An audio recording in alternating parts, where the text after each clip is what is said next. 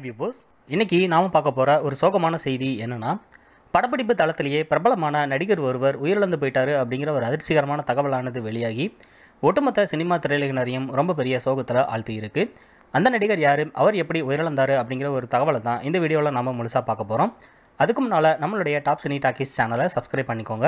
கூடவே பக்கத்தில் இருக்க அந்த பெல் சிம்பிளையும் கிளிக் பண்ணி நம்மளுடைய அடுத்தடுத்த எல்லா வீடியோஸும் உங்களுக்கு வர மாதிரி நோட்டிஃபிகேஷன்ஸும் எனேபிள் பண்ணிக்கோங்க.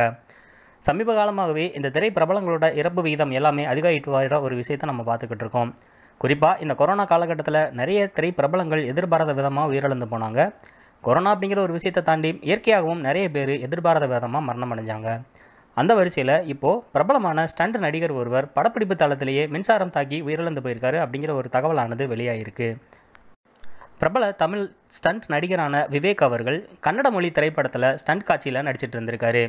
கன்னட மொழியில் பிரபலமான ஹீரோவாக இருக்க அஜய் தேவ் அவர்களுடைய நடிப்பில் உருவான லவ் யூ ரச்சு அப்படிங்கிற ஒரு திரைப்படத்தின் படப்பிடிப்பு நடந்துக்கிட்டு இருக்கும்போது தான் விவேக் அவர்கள் அதில் ஸ்டண்ட் கலைஞராக பணியாற்றியிருக்காரு அந்த படப்பிடிப்பில் சண்டை காட்சி ஒன்று படமாக்கப்பட்டுக்கிட்டு இருக்கும்போது பிரபலமான ஸ்டண்ட் நடிகர் விவேக் அவர்கள் மின்சாரம் தாக்கி உயிரிழந்து போயிட்டாரு அப்படிங்கிற ஒரு அதிர்ச்சிகரமான தகவலானது இப்போ வெளியாகிருக்கு ஏற்கனவே கடந்த சில நாட்களாக இந்த படப்பிடிப்புகள் எல்லாமே நிறுத்தப்பட்டு ஊரடங்கு காலகட்டத்தில் திரையரங்குகள் எல்லாமே மூடப்பட்டிருந்துச்சு.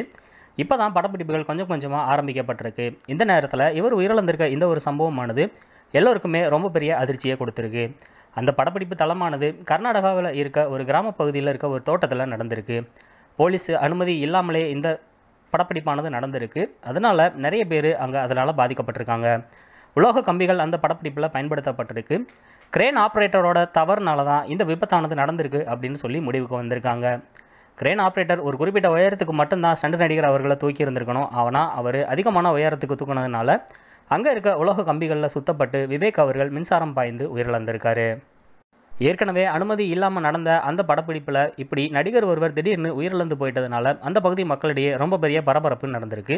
அதுக்கப்புறமா அந்த இடத்துக்கு வந்த போலீஸார் தீயணைப்பு படை வீரர்களை வச்சு அவருடைய உடலை மீட்டு பிரேத பரிசோதனைக்கு அனுப்பி வச்சுருக்காங்க.